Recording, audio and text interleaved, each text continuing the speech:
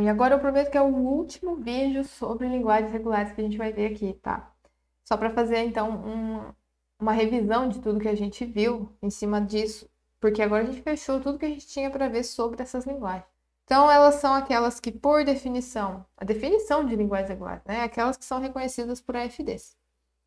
E aí, com o tempo, a gente viu que, de forma equivalente, a gente pode dizer que são aquelas reconhecidas por AFNs ou descritas por expressões regulares, certo? Então, qualquer linguagem que você conseguir fazer uma dessas três coisas para ela, ela vai ser regular. Outra coisa que a gente viu é que as linguagens regulares elas representam problemas muito simples.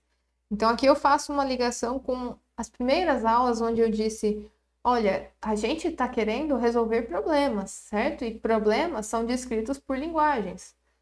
É, as linguagens que a gente viu como regulares, elas escrevem alguns problemas também. Então, por exemplo, a, cade... a linguagem das cadeias binárias que terminam em zero, elas nos ajudam a, a resolver o problema de decisão, que é decidir se um número é par, né? Então, se eu tenho um número eu pego a descrição em binário dele, se essa descrição estiver contida neste conjunto, é porque esse número é par. Então eu consigo resolver aqui, né, sim ou não, facilmente, apenas verificando se essa cadeia está ou não naquela linguagem. Mesma coisa para essa linguagem aqui, cadeias descritas em cima dos, no, dos nossos 10 dígitos, né, de 0 a 9, tais que a soma dos dígitos dessas cadeias é um múltiplo de 3, e o primeiro símbolo dela é diferente de zero, tá? Então, só para descartar é, cadeias estranhas do tipo um monte de zero seguido de alguma coisa. Então, este, essa, este conjunto aqui, ele contém exatamente os nossos números, que são múltiplos de 3. Então, se eu tenho um número, ele mesmo, não preciso nem fazer a verificação, é, transformar ele em binário, né? Se ele estiver contido nesse conjunto, é porque ele é um múltiplo de 3. E aí, o problema de decisão, para mim, né, se decidir se um número é múltiplo de 3 ou não, que, cuja resposta seria só sim ou não, se resume em verificar se esse número está contido ali, né, nesse conjunto ou não. Cadeias que só tem zeros e uma quantidade ímpar de zeros. Isso aqui poderia ser olhado como no, o problema de decidir se um número é ímpar. Então, eu pego aquele número e eu transformo ele é, numa cadeia que tem aquela quantidade de, de zeros, né? Então, é o teu número 5. Então, essa é a descrição em unário, né, desse, desse número. Se ele estiver contido nessa linguagem, então ele é um número ímpar. Essa linguagem aqui é, é uma linguagem regular, porque ela é finita. Então, claramente, ela é regular. A gente já discutiu esse tipo de coisa, né?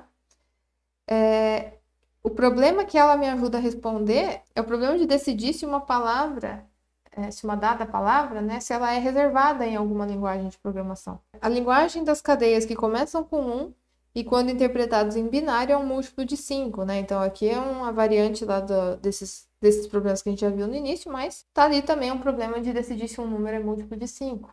Cadeias descritas no nosso alfabeto lá, né, com ABCD, que começam com L e N, né? Então, com esse padrão L e N. Então, isso é um problema de busca, né?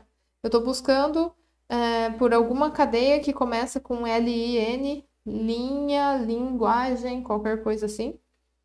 E se a, a coisa que eu estou buscando, né, se ela estiver contida aqui, então é porque eu encontrei algo, a minha busca foi bem sucedida, certo?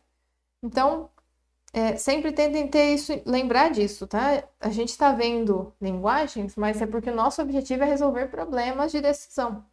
E esses problemas de decisão são sempre coisas relacionadas com as linguagens. Verificar se alguma cadeia pertence a uma linguagem vai ser equivalente a decidir se a resposta é sim ou não para aquele problema. Tem algumas coisas que são fáceis da gente fazer em cima desses formalismos que a gente viu para linguagens regulares. Então, por exemplo, decidir se um AFD aceita uma certa cadeia. Isso é fácil. É o que ele mesmo faz. Então, basta você pegar a cadeia e, é, e simular né, como é que aquilo é feito. A gente fez um algoritmo juntos, né, que, que decide se um AFD, eu dei um AFD para ele, dei uma cadeia, é, e foi fácil fazer esse programinha que verificava se ele aceita uma dada cadeia.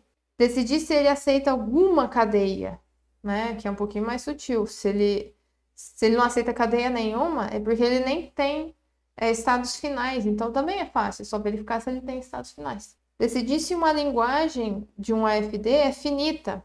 Então, aqui é um pouquinho mais elaborada a resposta, mas a ideia é perceber que se a gente tem N estados no nosso AFD, se a nossa linguagem é finita, a gente não pode ficar repetindo esses estados infinitamente, né? Então, dá para fazer uma verificação, dado um AFD, para a gente perceber se a linguagem dele é finita ou não. A gente vai ver exatamente como fazer isso lá para o fim do curso, tá? Eu só estou comentando realmente algumas coisas aqui. E verificar se dois AFDs são equivalentes, se eles reconhecem a mesma linguagem. É possível você ir lá e fazer um programinha para verificar se dois AFDs são equivalentes, tá? Então, é fácil, né? Nesse sentido, a gente poderia, que nem eu fiz naquele outro vídeo, criar um programinha em Python para fazer essas coisas. E veja que aqui eu estou comentando sobre AFDs. Por quê? Porque não é importante os outros? Não, porque todos os outros a gente consegue transformar em AFDs, né? Eu posso, é, quando eu quiser falar realmente sobre linguagens regulares, eu não preciso, ah, pega um AFD ou um AFN ou uma expressão regular. Porque se você pegar uma expressão regular, você transforma num AFN e transforma num AFD, certo? Agora, finalmente, é neste momento que a gente está no curso. Então, a gente viu que existem linguagens regulares elas são aquelas que podem ser reconhecidas por FDs, AFNs ou expressões regulares. É, tá aqui um exemplo de uma linguagem, né? É, um, alguns zeros seguidos de alguns uns, que pode inclusive ser descrita por essa expressão regular. E aí fica, inclusive, realmente bem direto que ela realmente é regular, né? A cadeia, é, a linguagem formada por qualquer coisa descrita naquele alfabeto, em um dado alfabeto, mas isso também é regular, tá? Que isso é uma expressão regular para ela, né? E a gente também viu que tem coisas para fora, tem linguagens que não são regulares. Então, uma certa quantidade de zero seguida pela mesma quantidade de uns, isso não é regular. É, eu coloquei isso aqui também, essa observação principalmente, né, para vocês é, não se confundirem quando eu faço esse diagrama aqui. É, as coisas que estão contidas aqui são linguagens, né? É, veja que, por exemplo, essa linguagem aqui, que não é regular, 0n, 1n, está contida né, nesta linguagem, que é zero estrela, um estrela. Então, e no entanto, né, nesse diagraminha aqui, eu tenho uma entrada para esta linguagem, está aqui, tem uma entrada específica para essa que está aqui. Né? Não estou tentando mostrar, sei lá, tem uma, tem uma aqui que está entre as duas coisas. Não, eu olhando realmente, pega aquele conjunto, aquela linguagem, né, e coloca ela em algum desses lugares. É, ou ela é regular ou ela não é, né? Mas ela, o fato dela conter coisas que não são regulares dentro dela não me interessa aqui neste desenho que eu estou fazendo,